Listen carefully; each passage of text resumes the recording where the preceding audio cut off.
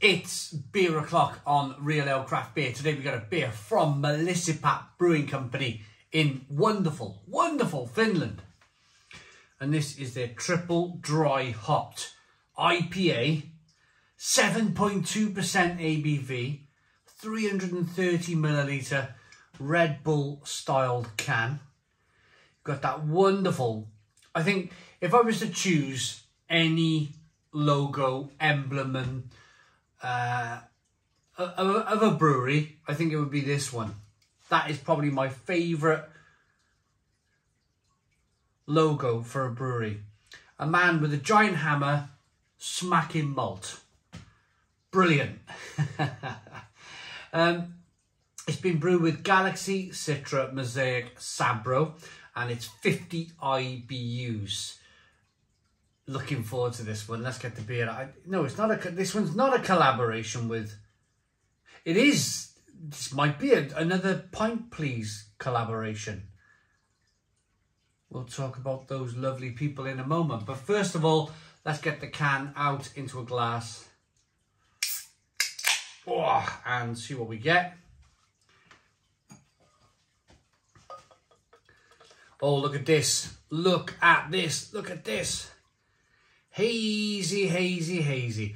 What do they say in the industry? Haze for days. Look at this. One finger white head.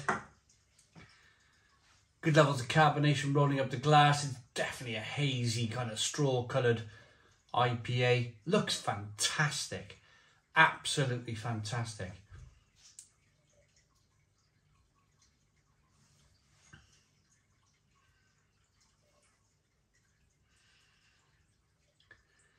The body. Now, I've not smelt the beer. I've had a little kind of whiff of the aroma from this distance, this half arm distance. But I've not tasted the beer yet, but I'm rolling this beer around in the glass and I'm thinking, wow, this beer has got some body to it. There's some oats in this beer.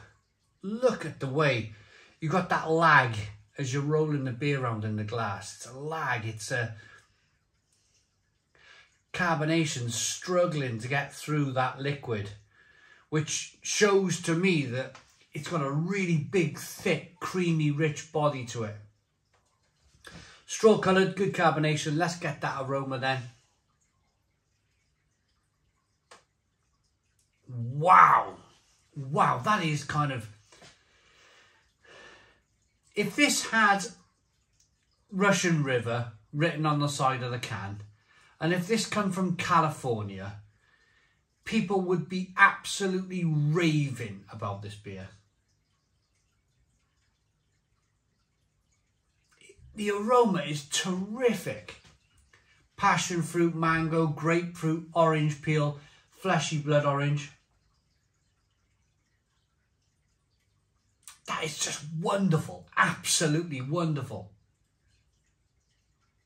It smells so soft as well. Lovely, soft, finished water. Got to get into this one, smells amazing. Cheers.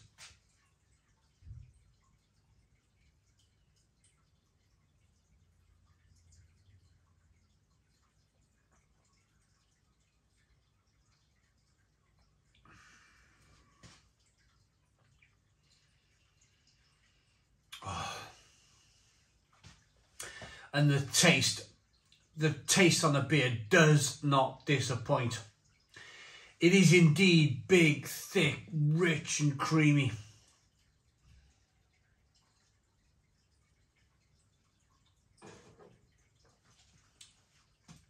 Stone the Crows, Stone the Crows. What an amazing flavour to the beer you're, you're hit with a combination of, of, of there's two things going on here. There's three things going on here with the beer. Let's start with the less obvious. The less obvious is the soft Finnish water, which helps to promote the hops. There's no kind of like, if it was hard water, the, the, the beer you'd, you'd have that kind of Burtonization effect, if you like, where where some of the beers, if you use hard water, they, they taste slightly farty. None of that going on here whatsoever.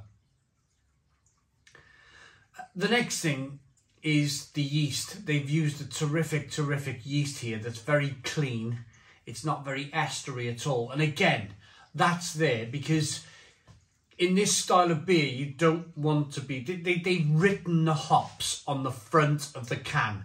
Front and centre of the can for you guys to be able to, to, to read it and enjoy those hops. So they don't want any kind of yeasty, estery kind of flavour to, to impede on these hop flavours, do they? So then you're just left with the hops really. The malt, of course, is very clean, a light, clean malt, just offering sugar for that wonderful yeast to gobble up and turn into alcohol. So then you're just left with the hops, and that hop flavour is just terrific. Just terrific. Passion fruit, mango, grapefruit, orange peel, fleshy blood orange. Again, I'm going to say it again. If this beer was in a can from Russian River, California way, people would be raving about it. Absolutely raving about it. It is that good a beer. I've drank over 9,000 beers on this channel, and I can tell you right now that that there is world class beer. World class beer.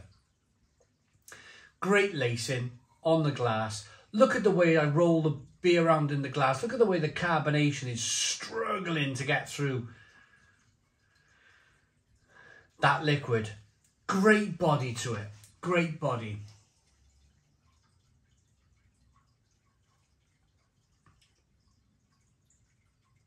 And it's oats galore. You're picking up loads of oats here.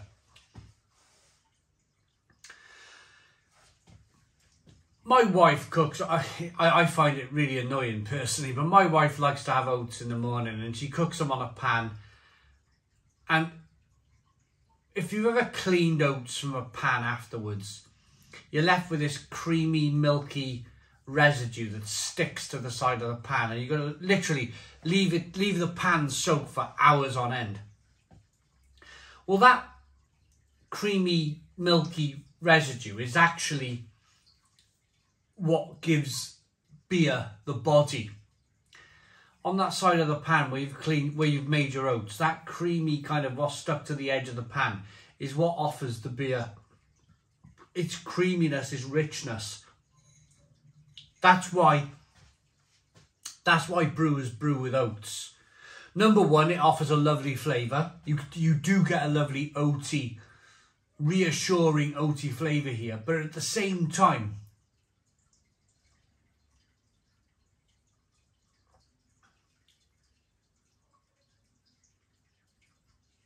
It's all about that fantastic body, that rich, creamy, luscious body to the beer. Mallassepät, they send us quite a bit of beer to be honest. I'm always honest, I'm always kind of open. Um, I love this one, but there's been one or two beers in the past. I think I had a, one of those kind of like fruit sour beers, which I wasn't really a fan of, and you know I was open and honest with it. Um, even though they send me beer, we're always honest on the channel. But um, it's nice that um, whenever Mallassepät brew a batch of beer, they send some over to the UK for us to review here on the channel. So the description is a triple dry hopped IPA pumped full of flavour with Citra, Galaxy, Mosaic and Sabro hops. Enjoy extremely fresh and in good company. Fantastic. Naantali, Finland. Love it. Love it, love it, love it. Stone the Crows, 10 out of 10. 10 out of 10 from Real Ale Craft Beer. Please put your comments in the comments box. Subscribe to our daily beer and food reviews. Give us a big fat thumbs up. Boom. Cheers.